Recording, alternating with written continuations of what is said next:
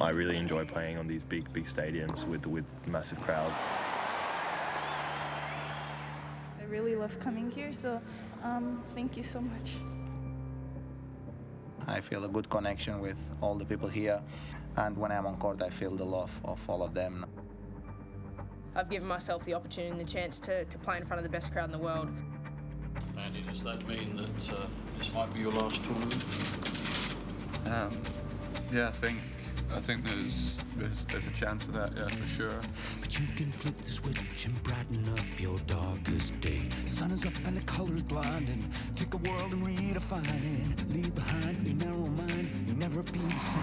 Perhaps the first of seven steps for the great champion. De Minaur is through to the second round. It's not a bad way to start, is it? Just know I'm your biggest fan. Take care, buddy. Your electrified, and the world becomes a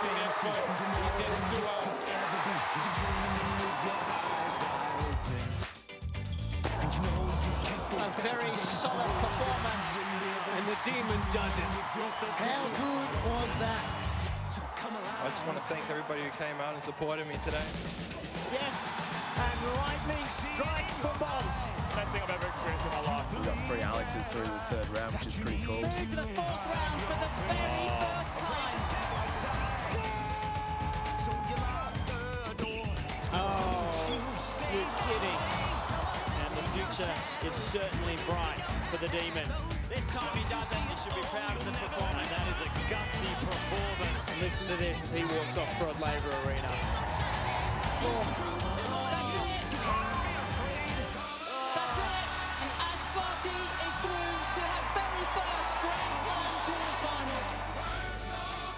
Frances Tiafoe. You're 21 today.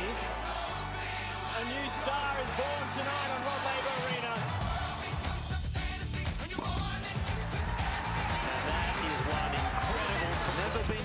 The first round Where there's a. Williams, there's a way. Well, what a shame. What a shame.